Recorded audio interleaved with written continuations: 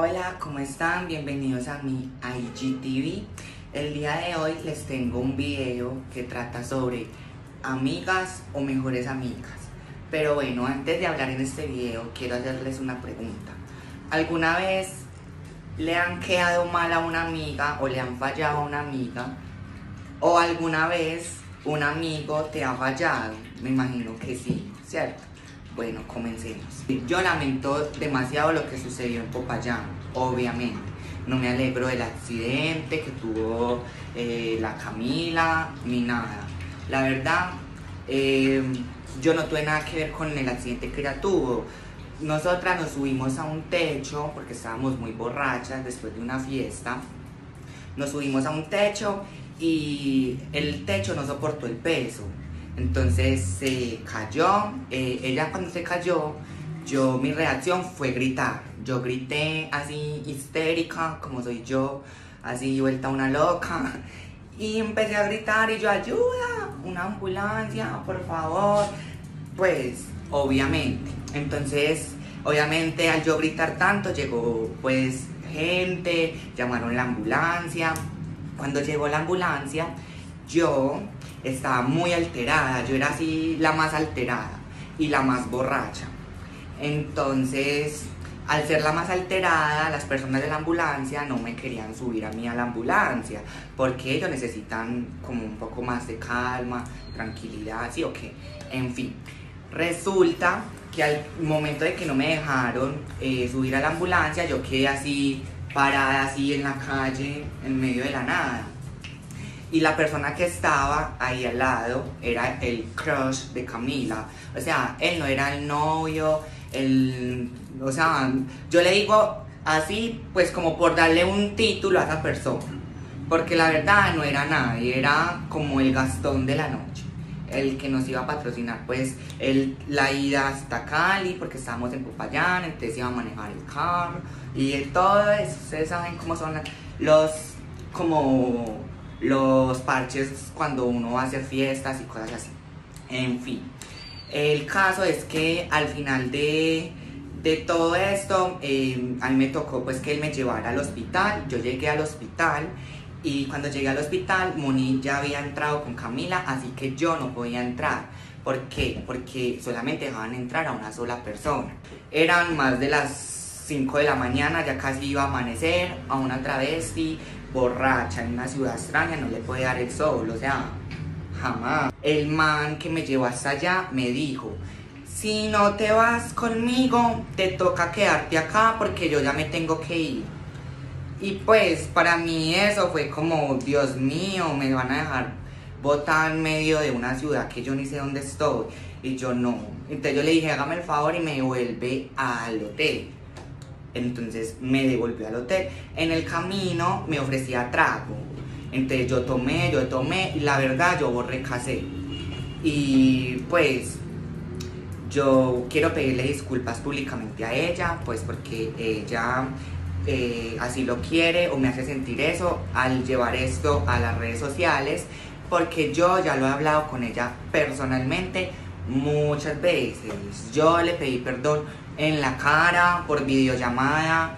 En muchas ocasiones le pedí perdón y yo sé que estuvo mal hecho y créanme, yo aprendí una lección. Esta persona que tanto me está atacando en las redes sociales, les quiero mostrar con evidencias cómo ella desde hace un año se está metiendo en mi relación amorosa lo cual yo la verdad no quería hacer público porque yo sé que es ella, ella creó un perfil falso y le escribe a él cuando le da la gana, por así decirlo, le manda mensajes, lo incita como a hacer cosas.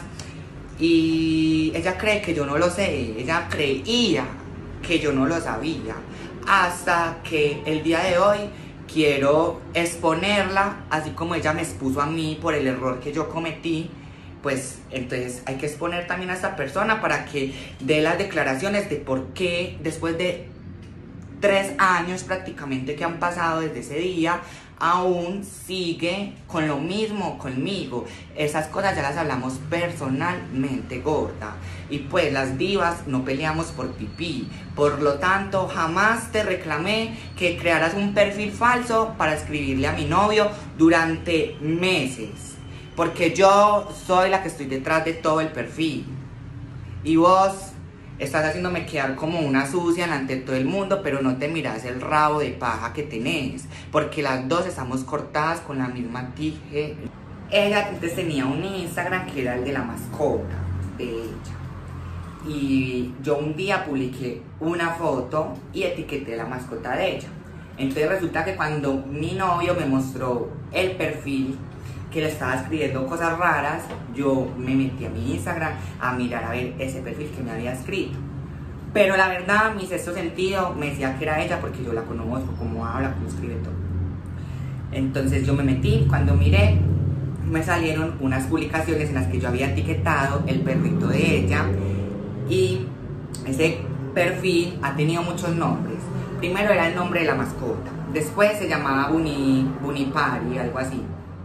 Y cuando era Unipari, eh, yo lo había mencionado, la página Osmirador, que era donde iba a ser ese toque de ella.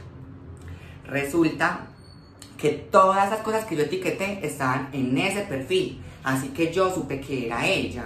Y yo la verdad me parece patético como yo, ay, vení, irle a reclamar, vos por qué te metiste con mi novio, vos por qué le estás escribiendo, vos por qué le dices que te lo quiere chupar, o sea, esas cosas no van conmigo, la verdad. Yo me siento como tan chimba para ponerme a ir a decirle a las demás, ¿usted por qué le escribe cosas a mi novio? Yo sé todo lo que le escriben todas. Bueno, como pueden ver, acá ella se llamaba Juaz y estas eran las cosas que escribía. Yo, cuando empecé a leer estas cosas, yo de una supe quién era. Pero yo tenía que comprobarlo. Miren qué caja las cosas que le hice. Dios. En fin, yo tenía que comprobar eh, quién era este perfil, así que yo decidí entrar a mi cuenta y mirar desde mi perfil quién era este usuario. Bueno, acá como pueden ver yo entré a mi página y busqué pues ese perfil, ya se había cambiado el nombre y resulta que yo lo había mencionado. Ese era el perfil de la mascotica de ella y del Bunny Party. Y bueno, ella le puso después críticas Medellín y siguió y siguió escribiendo. Y yo durante todos estos meses no dijo nada. Ella ni siquiera sabía que yo sé esto. El domingo le envía un besito, o sea, hace muy pocos días. Y se la pasa difamándome diciendo que yo soy una quitanovia. ¡Qué caja, por Dios! Como pueden ver, mágicamente el perfil eliminó todo.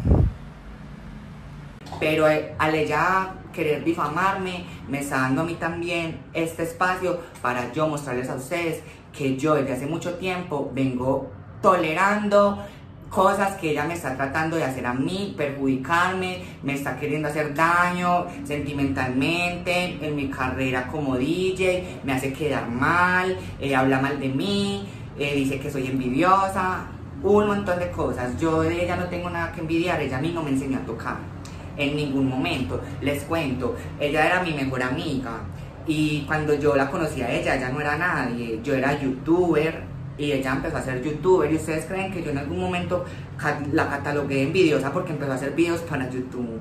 Pues es que el mundo es libre, ella podía hacer videos para YouTube normal y yo no me rayé. Ella era muy linda, era muy linda, pero pues a mí nunca me importaba nada de eso. Yo quería que ella le fuera bien porque yo la verdad no me siento menos que nadie, yo me siento divinamente.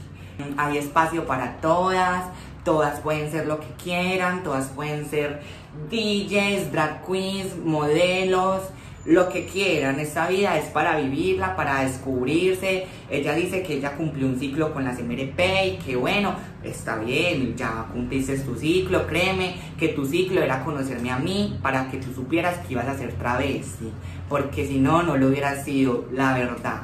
Todo hay que decirlo. Tú me conociste a mí y en mí encontraste un apoyo para ser quien verdad verdaderamente quería ser. Asimismo, tal vez la vida te puso a ti en mi camino para yo darme cuenta que ser DJ es una salida y un camino para mí.